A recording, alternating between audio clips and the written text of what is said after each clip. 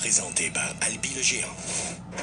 Sous un ciel étoilé, Cette émission est offerte avec vidéo au description. sommet, il passe sous un panneau sur lequel est écrit Thunder Road en lettres illuminées et redescend à toute vitesse. Les films Séville, Summit Entertainment et Thunder Road Pictures présentent.